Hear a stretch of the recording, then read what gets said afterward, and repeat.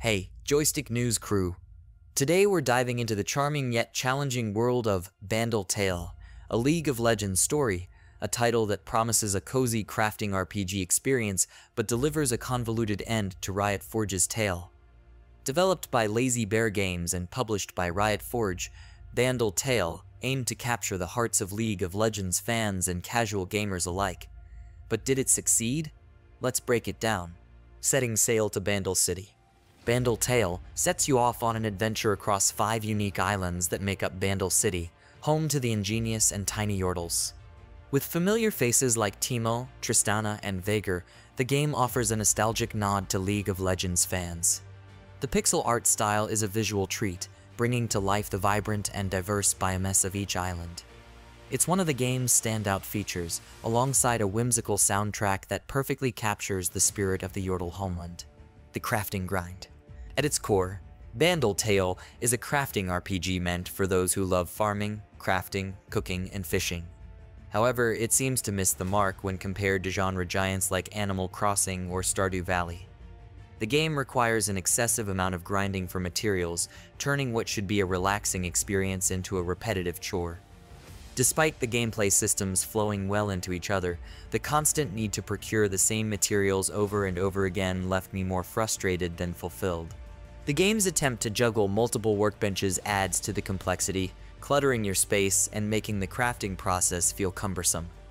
Moreover, the lack of a recipe guide and the necessity to use resources to navigate between islands only adds layers of inconvenience to the experience. A convoluted end to a Forge tale. It's worth mentioning that Bandle Tale arrives at a tumultuous time for Riot Games, with the news of layoffs and the potential closure of the Riot Forge label. This backdrop adds a bittersweet note to the game's release, framing it as possibly the last League adjacent title for some time. The verdict Bandle Tale.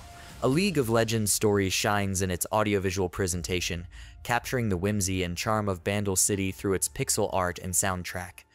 However, the game's convoluted crafting system and excessive grind overshadow its more enjoyable aspects. While it might appeal to a niche audience, particularly fans of Lazy Bear Games' previous works or hardcore crafting RPG enthusiasts, it falls short of being accessible to the casual gamer it seemingly aims to attract. Personal take. As a fan of both League of Legends and cozy crafting games, I wanted to love Bandle Tale. The idea of exploring Bandle City through the eyes of a customizable Yordle was incredibly appealing. However, the execution left much to be desired. The charm of the Yordle world is there, but it's buried under layers of tedious gameplay that test your patience more than your creativity.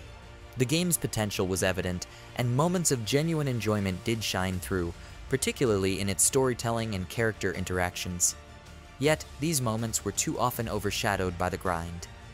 Bandle Tale serves as a reminder that a great concept needs equally thoughtful implementation to truly resonate with its audience. In conclusion, Bandle Tale, a League of Legends story, is a game with heart, hampered by its complexity and grind.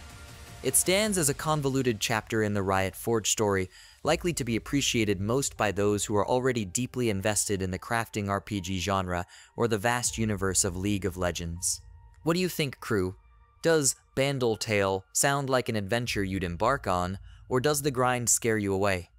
Drop your thoughts in the comments below, and let's keep the conversation going. Until next time, stay cozy, keep crafting, and as always, happy gaming.